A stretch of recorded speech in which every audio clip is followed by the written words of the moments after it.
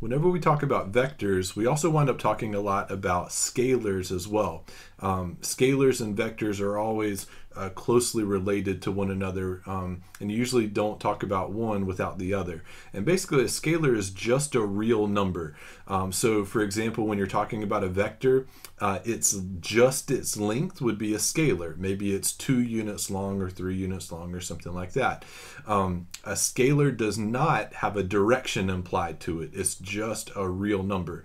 And a lot of times we might want to take a scalar and multiply it to a vector, and that's allowed. You might want to double a vector or triple a vector or something like that. So here's how you do what's known as scalar multiplication.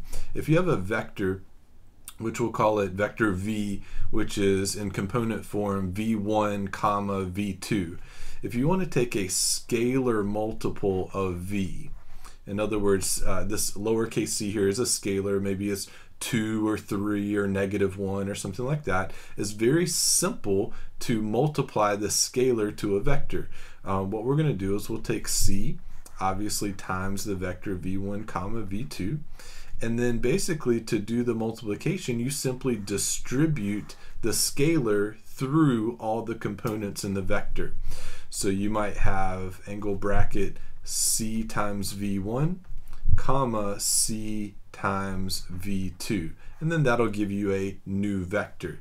So uh, here up here up here in the corner I'll do a quick example.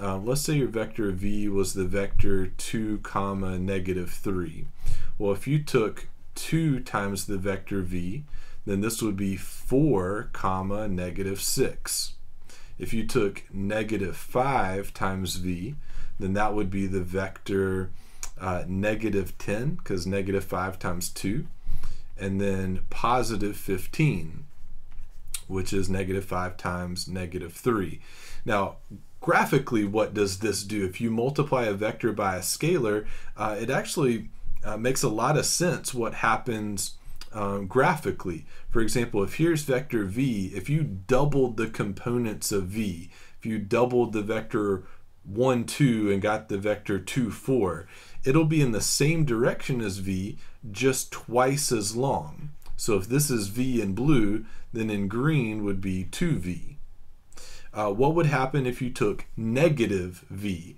So if you had a vector like uh, 3 7 and then it suddenly becomes negative 3 negative 7 well it'll be in the same direction i'm sorry well it'll be exactly backwards from V. It'll be the same length as V, but it'll just be in reverse. So it'll be uh, this direction here. So this would be negative V right here. So you can double V or triple V or, or, have a negative scalar multiple of V. And what it'll do is it'll make V shorter or longer, possibly even change direction. And in fact, that's why we use the word scalar. It scales a vector shorter or longer. One thing a, a scalar cannot do, though, is a scalar cannot change the direction of v. Um, for this vector here, v, you could pick any scalar on Earth and it would never turn the vector this direction, right? It'll only make v shorter than it is or longer than it is, possibly turn around backwards, but it would still be along this particular line right here. So that's what a scalar uh, is, and this is how you do scalar multiplication.